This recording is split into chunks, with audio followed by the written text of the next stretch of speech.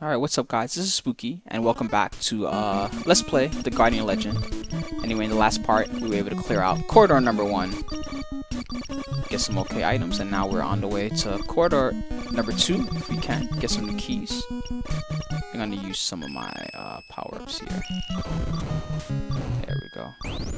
Any items here? Nope, doesn't look like it. So anyway, we cleared the first corridor, and we got uh, some okay items out of it. As you can see uh, on the map, getting that first moon key has really opened up a lot of the map for us. So the first thing we're going to do is we're going to head up here, it's so conveniently close by, and see if we can pick up some more items. And I'll be uh, referring to the map every now and then. It's a long game and not all of it is something I have memorized. Thankfully the early areas are all very straightforward. Just pretty much follow the path and you'll get to what you need. Oh nice, we got one of those those items that the lander was selling for 150 earlier. Here's a boss.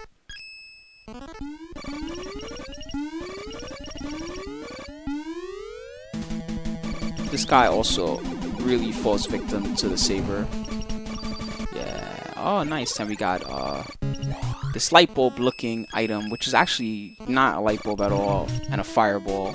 Uh, this combined with the saber are the two weapons that I'll probably use the most often. There's also this weapon I just picked up, which is the V saber, and it's the same stuff, but guess what? It goes on the sides like this instead of going forward. Also very useful.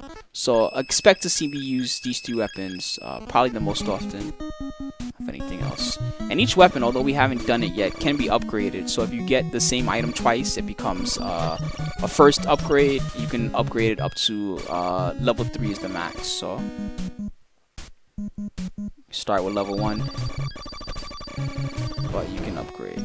I should be more cautious about my health. These enemies all do a lot of damage. Anyway, up we go.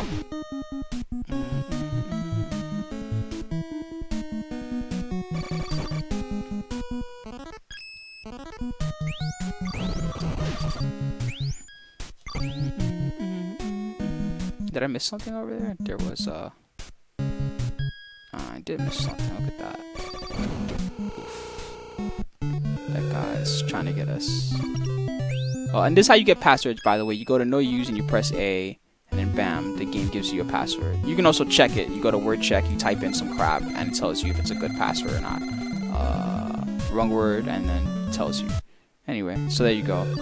Just so you know how the save system works. We won't be utilizing it in this run, but now you know. I'm gonna get rid of this guy before it becomes a problem. There we go. Now up we go.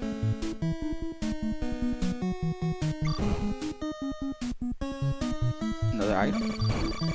Oh, nice. That's uh, that thing is a health slash chip refill. It gives you about 10 health back, and it gives a bunch of chips too. Let's see what we're opening up here.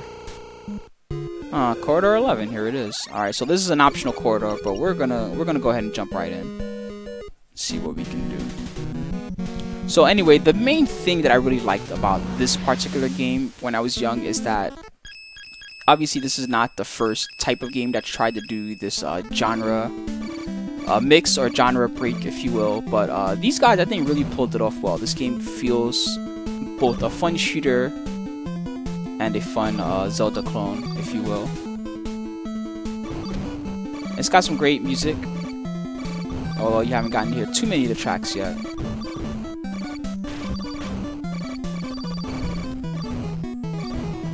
And it's not too difficult, especially once you're used to it. And there's passwords and stuff.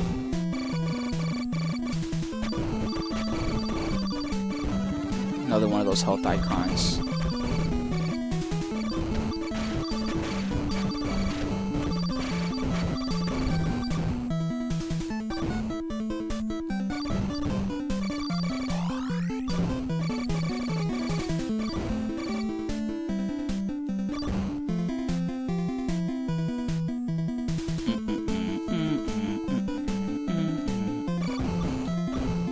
Forgot what boss this is guess we'll find out. Anyway, some of the bosses repeat as well, but they do get harder when they repeat. They deal more damage or their patterns change ever so slightly. Just enough to make them more difficult.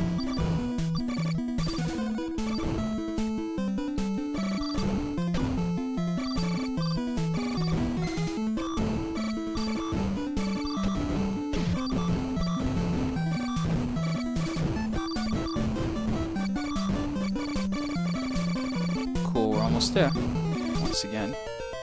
Alright. So what boss is this? Oh, this asshole. So this guy, uh, the weird... I don't know what that's supposed to be, but those weird... Oh, you can see it. Those weird lines just do tons of damage, and I really am going to try to avoid getting hit by them. The fireball weapon is really, really good versus this guy. It does a ton of damage.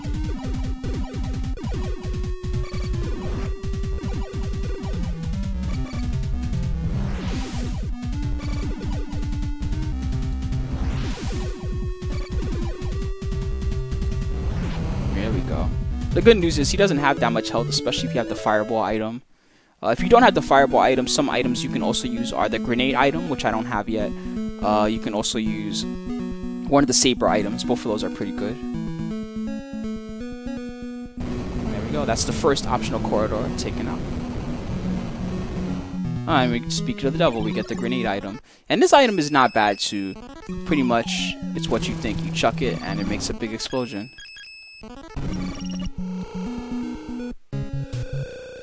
Alright, so let's see what else is locked back here behind uh, the optional corridor. Another boss.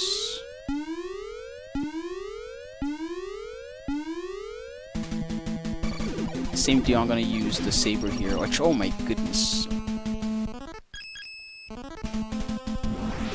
I gotta change it up, because, uh...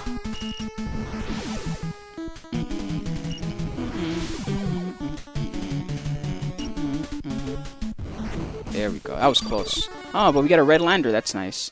Anyway, red landers uh, give you a chip upgrade. So we went from 100 to 150. We also got all our health back, which is nice because that was a close fight. Alright, and back here we are. And if you look on the map, you can see that pretty much we've cleared this whole optional area here. So I'm going to start uh, heading southwest so we can clear some of the other corridors there out.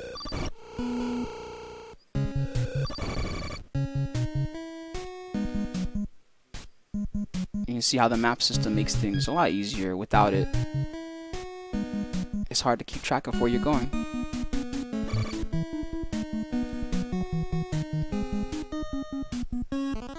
Up, up we go.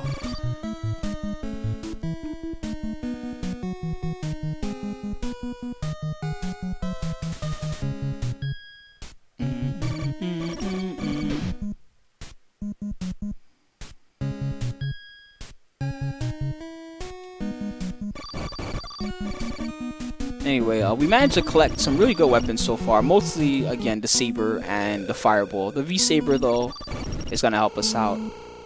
Some areas, too. Here we are, back in Area 0.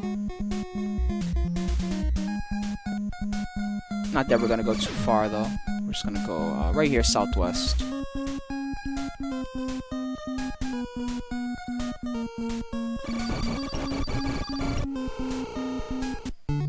Okay. And no, I'm not going to save. We're just going to continue on. Here we go, area 2.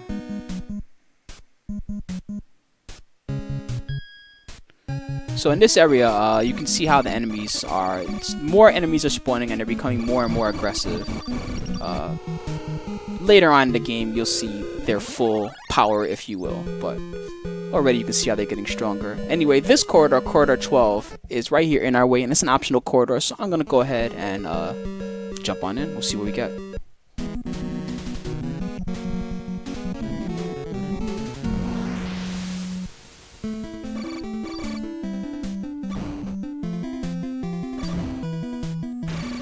Anyway, the Guardian, as a part of the Earth Defense Force, is really a specialized, uh, specialized type of unit, if you will. Uh, and she's, as you can see, she's trained to take on uh, huge disasters. She's also very skilled with a lot of different weapons. But the main reason I bring that up in the first place is because although there was uh, Metroid, which features Samus, the female protagonist, uh, back during these times, there weren't too many games that featured uh, female leads. There was like Princess Toadstool, Samus, and not much else. So, pretty cool that there's a female lead in this game.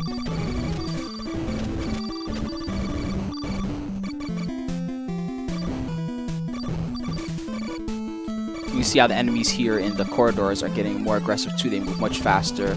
And uh, although I'm avoiding them for the most part, they do more damage to me if they hit me.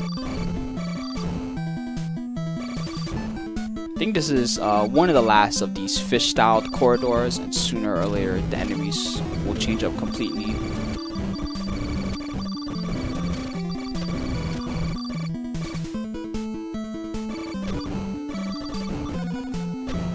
All right. Here comes the boss.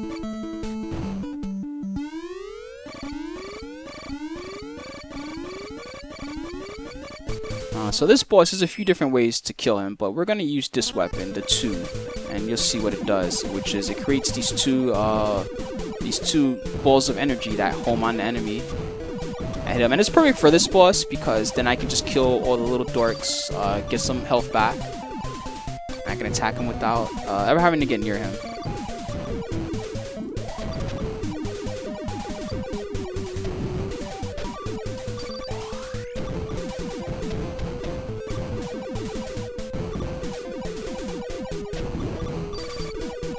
There's a heart, that's nice. Hearts give back uh, 5 uh, health. Which you guys may have noticed already, but... Anyway, there you go, it's clear. So I'm gonna switch weapons so that the balls don't eat all my chips. And that's corridor number 11. Uh, excuse me, number 12, right? Yes, 12. We did 11 earlier.